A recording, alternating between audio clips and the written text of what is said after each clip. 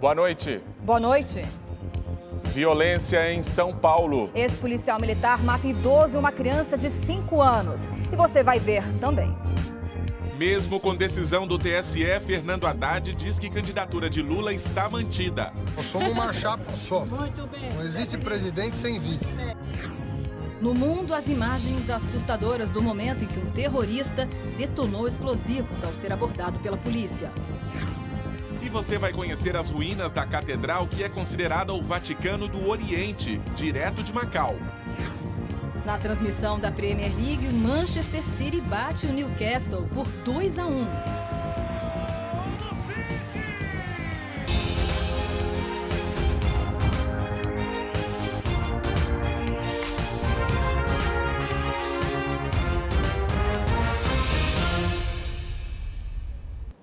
Tribunal Superior Eleitoral barrou a candidatura do ex-presidente Luiz Inácio Lula da Silva. A decisão do TSE foi tomada no final da noite de sexta-feira. O Partido dos Trabalhadores irá recorrer. O julgamento foi longo, cerca de 10 horas de debates. Os ministros do Tribunal Superior Eleitoral analisaram em conjunto 16 pedidos que questionavam a candidatura do ex-presidente Luiz Inácio Lula da Silva. Os argumentos estavam bem definidos. Os autores das impugnações e o Ministério Público Federal defenderam que Lula está inelegível por ter sido condenado em segunda instância no caso do triplex do Guarujá. Ele está preso desde abril em Curitiba. Com isso, estaria enquadrado na lei da ficha limpa. A candidatura esbarra, portanto, na lei de inelegibilidades. Já os petistas defendem que o ex-presidente ainda tem recursos para serem julgados e, por isso, teria o direito de participar da eleição de outubro. É uma inelegibilidade que pode ser suspensa a qualquer momento. A defesa de Lula também sustentou que a candidatura estava assegurada por um parecer do Comitê de Direitos Humanos da ONU, o documento recomenda que o petista tenha os direitos políticos preservados. Argumentos rebatidos tanto pelo Ministério Público quanto pelo relator do caso no TSE. O ministro Luiz Roberto Barroso também ressaltou que a lei da ficha limpa deveria ser cumprida. A lei da ficha limpa não foi um golpe e não foi uma decisão de gabinetes. A lei da ficha limpa foi, em verdade, fruto de uma grande mobilização popular. Barroso foi seguido por cinco dos outros seis ministros. Salientes haver referência expressa aos crimes de corrupção passiva e de lavagem de dinheiro. Mesmo o mecanismo de denúncia individual perante o Comitê de Direitos Humanos da ONU não detém força obrigatória ou vinculante. Único voto divergente foi do ministro Edson Fachin. Para ele, o documento do Comitê da ONU deveria ser respeitado, embora não haja dúvida de que Lula se encaixa na lei da ficha limpa. A segurança jurídica está acima da minha convicção individual. Está acima das convicções coletivas. Assim, o resultado final ficou em 6 a 1 e o registro de candidatura do ex-presidente Lula foi negado. Além disso, os ministros deram 10 dias para o Partido dos Trabalhadores apresentar o nome do novo candidato. Também foi determinada a retirada da foto e do nome do Lula das urnas eletrônicas. Apesar de manter o direito da legenda de participar da propaganda gratuita de rádio e TV, o PT não poderá citar Lula como candidato. A defesa do ex-presidente e o Partido dos Trabalhadores já avisaram que irão recorrer. O posicionamento foi reforçado no primeiro dia de propaganda dos candidatos à presidência nas emissoras de rádio e televisão. Logo no início do programa Petista, o narrador critica a decisão do TSE. A vontade do povo sofreu mais um duro golpe com a cassação da candidatura de Lula pelo TSE. Ao longo do vídeo, de pouco mais de dois minutos, o candidato a vice, Fernando Haddad, e outras pessoas defenderam a liberdade e a candidatura de Lula. O próprio ex-presidente se diz uma vítima. Não sei se eles vão passar para a história como juízes ou como algozes. Candidato com maior tempo, Geraldo Alckmin, do PSDB, apresentou uma espécie de biografia e deixou claro quem é seu principal alvo, o candidato do PSL, Jair Bolsonaro. Eu decidi que nesse ano eu não vou votar com raiva.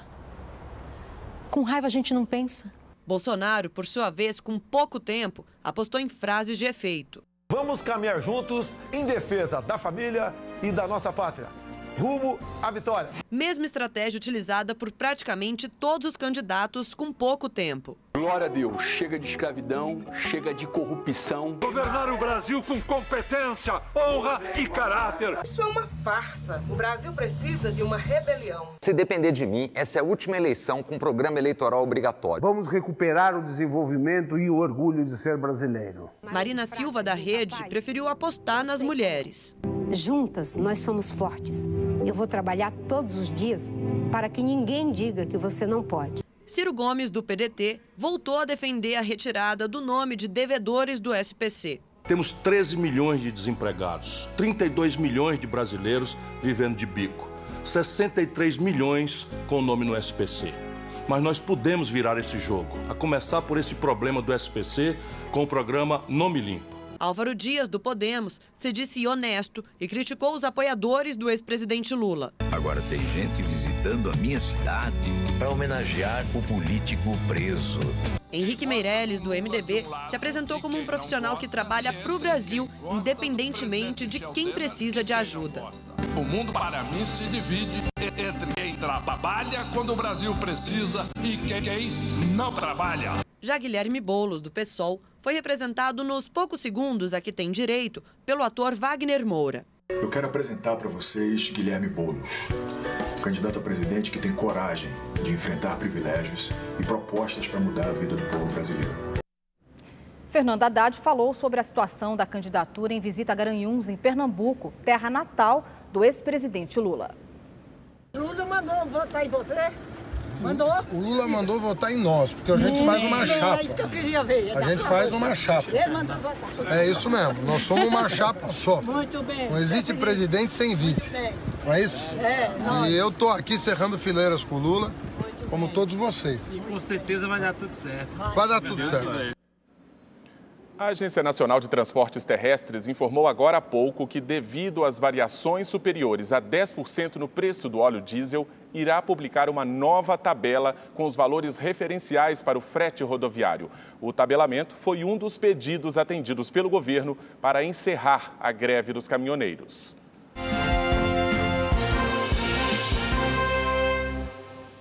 Veja agora como foi o dia dos candidatos à presidência da República em campanha eleitoral pelo Brasil. Jair Bolsonaro, do PSL, cumpriu a agenda de campanha em Rio Branco, no Acre. Durante o discurso, afirmou que, se for eleito, não vai admitir que crianças sejam pervertidas por programas de governo e que a família vai ser respeitada. Marina Silva, da Rede, fez campanha em Nova Iguaçu, na Baixada Fluminense. A candidata foi saudada por simpatizantes e defendeu prioridade para o saneamento básico. Para a candidata, o investimento em esgoto tratado melhora as condições de saúde e ajuda na criação de emprego e renda. Os que criaram o problema não vão resolver o problema. À tarde, Marina esteve em Duque de Caxias, município vizinho na Baixada Fluminense. Ciro Gomes, do PDT, foi a Curitiba e disse que, se for eleito, vai investir na produção nacional. No dia em que começou o horário eleitoral dos candidatos à presidência, Ciro defendeu mais debates com os presidenciáveis, já que a propaganda no rádio e na TV nem sempre mostra os candidatos como são de fato. Geraldo Alckmin, do PSDB, cumpriu a agenda no Ceará. Acompanhado de sua candidata vice, a senadora Ana Amélia, Alckmin declarou em Horizonte que beneficiários do Bolsa Família que consigam emprego com carteira assinada poderão voltar automaticamente a receber o benefício caso percam o emprego. De lá, o candidato visitou a feira agropecuária de Itapipoca e teve tempo de montar a cavalo e posar com um chapéu de palha, típico da região.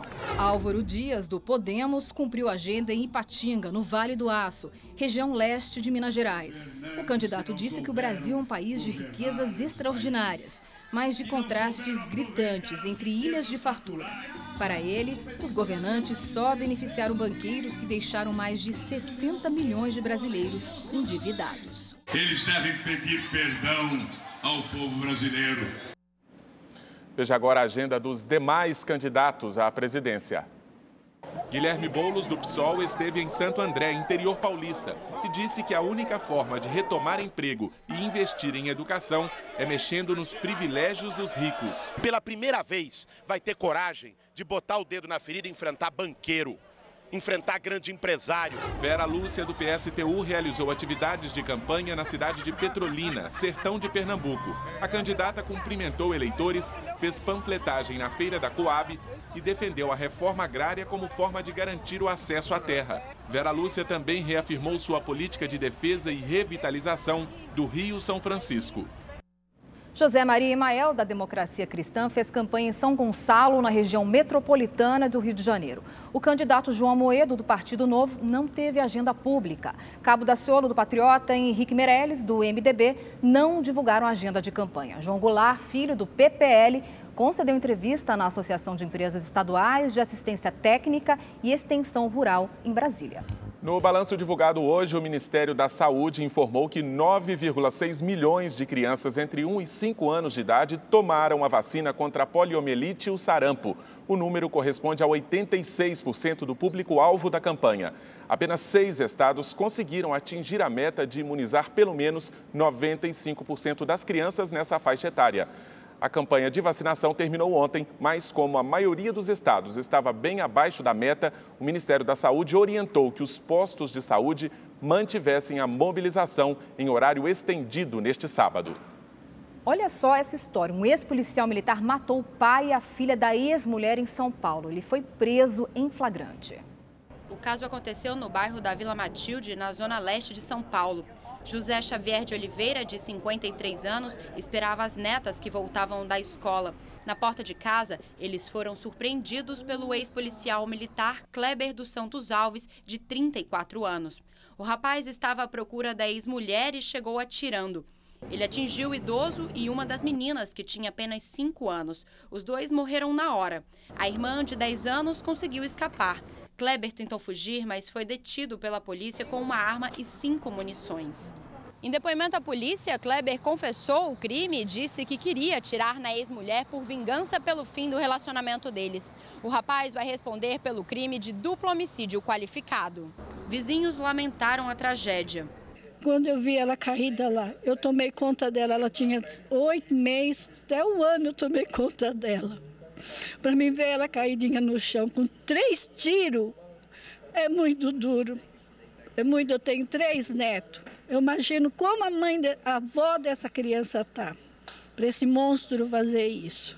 De acordo com a Polícia Militar, em 2008, o homem foi expulso da PM após matar uma outra ex-namorada dentro do apartamento onde ele morava. E é hora de ver os destaques do Operação de Risco.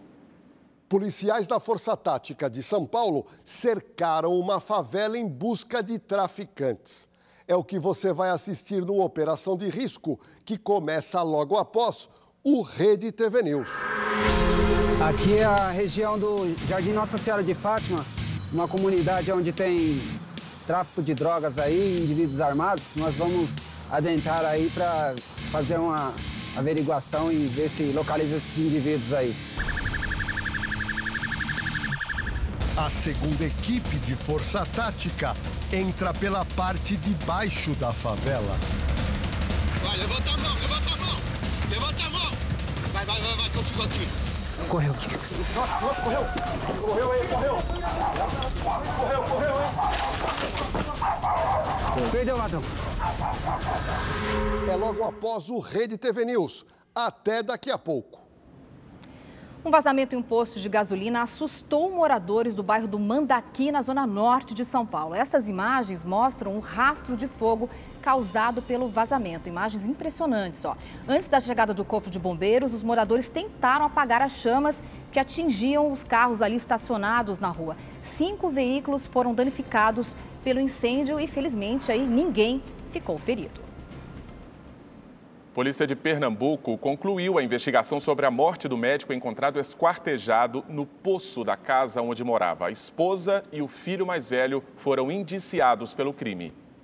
O corpo do médico Danirson Paz da Silva, de 54 anos, foi encontrado no dia 4 de julho, dentro de uma cacimba, num condomínio de luxo em Aldeia, município de Camaragibe, na Grande Recife. Para a polícia, não há mais dúvidas de que a viúva, a farmacêutica Jussara Rodrigues Silva Paz, de 54 anos, e o filho mais velho, Danilo Rodrigues Paz, de 23 anos, cometeram o crime. Segundo as investigações, o médico morreu na madrugada do dia 31 de maio. Um dia antes, Jussara, que teve acesso aos arquivos virtuais dele através do celular, descobriu que o marido mantinha uma relação extraconjugal há cinco anos. Essa teria sido a motivação do homicídio. A perícia apontou que o médico sofreu esganadura e traumatismo craniano. Ficou bem caracterizado que a vítima estaria no seu quarto, em seu aposento, no caso na cama, onde ali ele sofreu inicialmente um, um golpe, né, seria um estrangulamento, e ele é levado a cerca de aproximadamente 6 metros até a região do quiosque.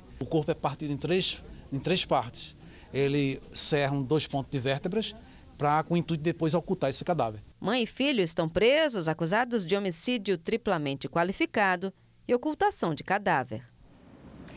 Em Belo Horizonte, uma mulher deu à luz a um bebê na porta da maternidade. A mãe estava entrando no hospital quando teve que voltar para o carro para começar o parto. As enfermeiras que aguardavam a mãe no quarto do hospital desceram e ajudaram aí no procedimento. O cinegrafista também apareceu e conseguiu registrar o nascimento do bebê. Apesar da urgência, o parto ocorreu sem complicações e o bebê passa bem. Que calorão fez hoje em São Paulo, hein? Os termômetros é. chegaram a marcar 31 graus. E será que vai continuar assim nesse domingo? Pois é, Cabral, parecia um dia típico de verão, né? Aquele dia, aquele dia bem quente, né? Vamos ver como é que fica o tempo em todo o Brasil com a Bruna Almeida. Boa noite, Bruna. Oi, boa noite. Setembro começou bem quente aqui em São Paulo, né? Mas já vem logo uma frente fria a caminho que vai trazer chuva, olha, para todo o sul e oeste de São Paulo amanhã. Mas apesar da chuva, essa mudança toda só deve ser sentida mesmo na segunda-feira, porque amanhã as temperaturas também, olha só, vão passar dos 32 graus em São Paulo e na segunda ela despenca para 24 mínima de 14 graus. O primeiro domingo do mês também promete chuva forte em todo o sul do país por causa de um sistema de alta pressão. O dia já amanhece todo nublado, com chuva que deve durar o dia inteiro, principalmente na divisa aqui dos três estados. Essa instabilidade avança também para o Mato Grosso do Sul e para o sul do Mato Grosso. Em algumas regiões, o pacote vai ser completo. Chuva forte, raios, trovoada. Em compensação, olha, em toda essa área clara aqui, é o tempo seco que continua predominando. Vamos lá para o norte agora? Lá para cima, porque quem tiver no Nordeste vai da praia o sol vai brilhar forte, olha, em toda a região, com possibilidade de garoa isolada no litoral do Rio Grande do Norte até o sul da Bahia. Tempo seco também no Tocantins, no centro-sul do Pará e em parte do Amazonas. O norte do país segue com as clássicas pancadas de chuva da tarde. E muito calor. Vamos dar uma olhada nas temperaturas? A mínima de 14 graus em Campo Grande e em BH e à tarde, os termômetros vão bater a casa aí dos 38 graus em Palmas, 37 em Manaus, ó, todo o norte aqui fervendo, mas a máxima não passa dos 20 em Porto Alegre. Qualquer dúvida, é só acessar o site da Rede TV e você ainda fica bem informado. Eu fico por aqui, um bom domingo para todo mundo, uma boa noite e até a próxima.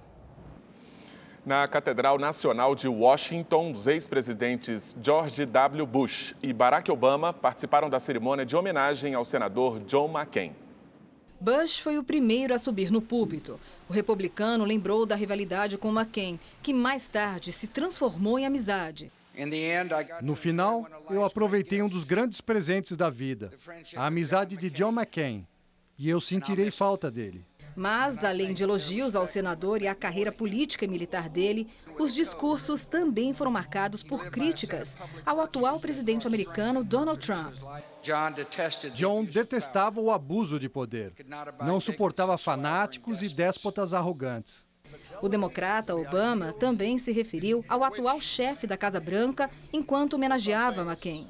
John understood John entendeu, como JFK entendeu, como Ronald Reagan entendeu, que parte do que torna nosso país grande é que nossa nação não é baseada em nossa linhagem, em como nos parecemos, quais são nossos sobrenomes, mas na adesão a uma crença comum. Já a filha do senador Meghan McCain foi aplaudida ao falar do pai, se referindo ao slogan de campanha de Trump.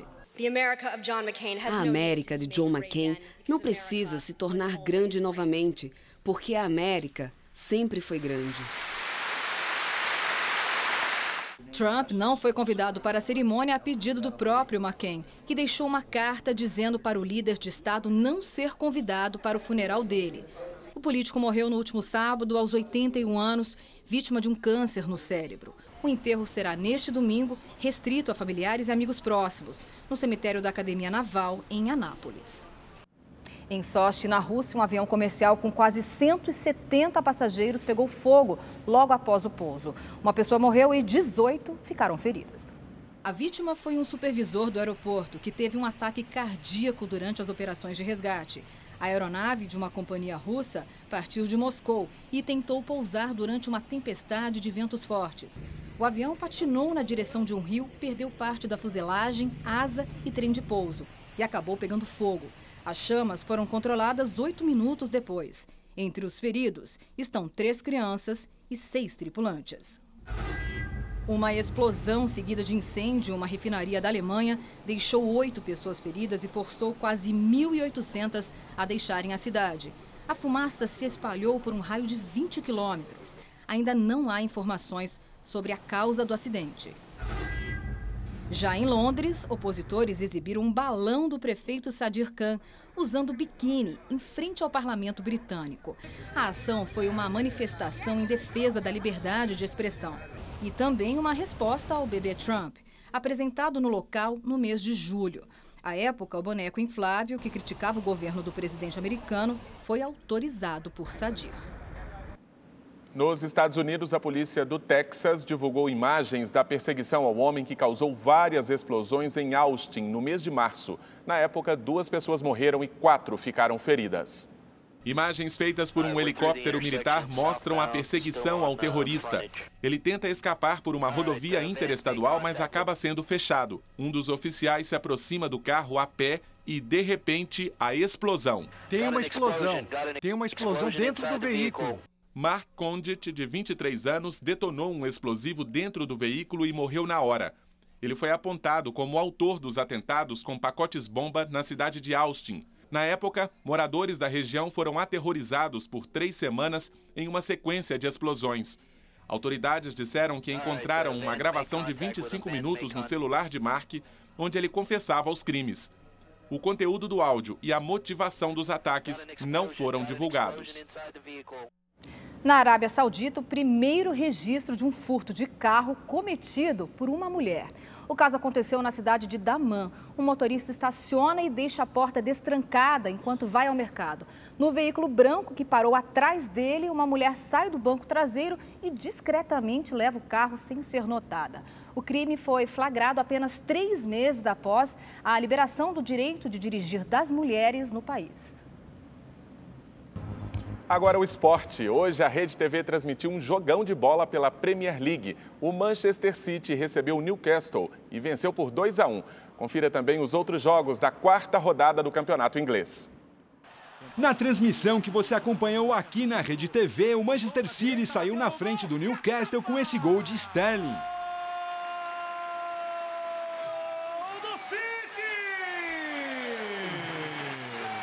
Só que ainda no primeiro tempo, o Edwin deixou tudo igual.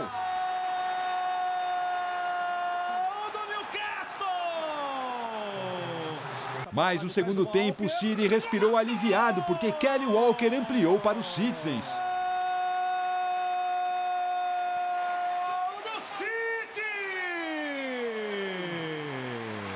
No final da partida, Agüero foi fominha e perdeu essa bela chance de fazer o terceiro.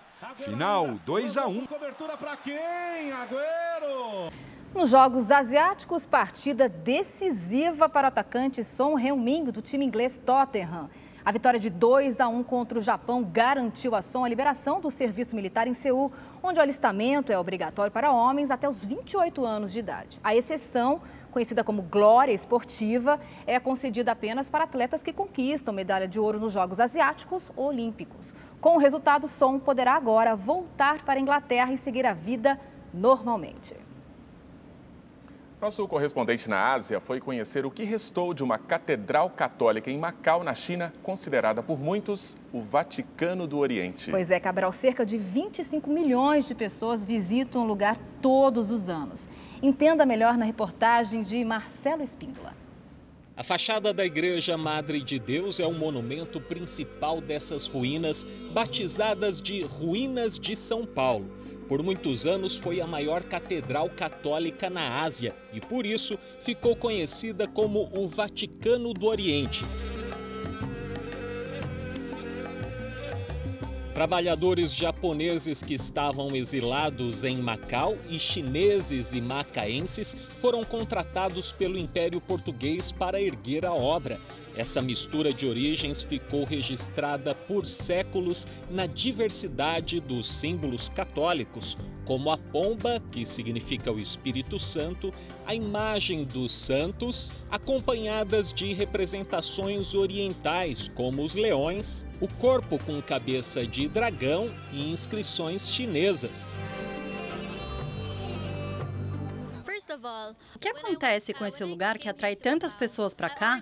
Minha amiga me contou que esse lugar atualmente em ruínas é resultado de um incêndio que aconteceu há muito tempo. A fachada da igreja foi o que restou de um conjunto de construções religiosas consumido pelo fogo. Dois incêndios, um em 1595, outro em 1835, destruíram também um colégio jesuíta que ficava aqui. Segundo a direção dos serviços de turismo, somente no primeiro semestre deste ano, as ruínas de São Paulo receberam cerca de 16 milhões de visitantes, que admiram o esplendor de um monumento dividido em cinco níveis que representam a escalada do cristão rumo ao paraíso. Escolhi esse monumento porque eu tenho só três horas. Eu acho que é o mais famoso daqui. O pouco que restou da igreja tem muita história e significado. Por isso, este monumento recebeu da Unesco o reconhecimento de Patrimônio Mundial da Humanidade. Aqui ficavam as salas de aula, quartos e pátios frequentados por católicos de vários países eram também abrigo de missionários expulsos do Japão em 1639 em um episódio de intolerância religiosa. As pedras que remontam tanta história guardam até os detalhes do piso usado na época e são rodeadas de um belo jardim que tornam a experiência de passeio e aprendizado mais agradável. Muitos vêm aqui ruínas de dois grandes incêndios, mas para mim o que sobrou é algo muito secreto, como uma porta que remete à vida eterna. Isso é o que eu consigo sentir. É realmente um lugar mágico. Marcelo Espíndola de Macau para o Rede TV News.